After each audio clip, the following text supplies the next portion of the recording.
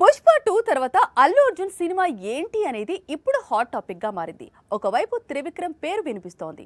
ఇంకోవైపు తమిళ డైరెక్టర్ అట్లీ కూడా లైన్లో ఉన్నాను అంటున్నాడు. ఇంతకీ వీరిద్దరిలో బన్నీ డేట్స్ ఎవరి దగ్గర ఉన్నాయనేది ఇప్పుడు పాన్ ఇండియా వైడ్గా హాట్ టాపిక్గా మారింది. ఆగస్టు పదిహేనున పుష్ప టూ రిలీజ్ ఉంది.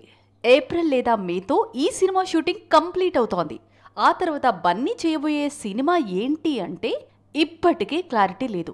నిజానికి త్రివిక్రమ్తో మూవీ లాక్ అయిందని బన్నీ సన్నిహితులు గతంలోనే చెప్పారు. అందుకు తగ్గట్లే త్రివిక్రమ్ కూడా స్టోరీ రాస్తున్నట్లు హీరోయిన్గా దీపికా పదుకొని డేట్స్ కోరుకుంటున్నట్లు నిన్న మొన్నటి వరకు వార్తలు వినిపించాయి. తెలుగులో కల్కి తర్వాత దీపిక మరో చిత్రం చేయాలి అనుకుంటోందట.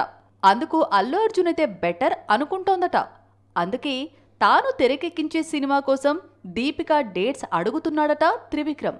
అయితే మాంత్రికుడు ఈ ప్రయత్నాల్లో ఉండగానే తమిళ దర్శకుడు అట్లీ బన్నీతో మూవీకి లైన్ క్లియర్ చేసుకుంటున్నాడు.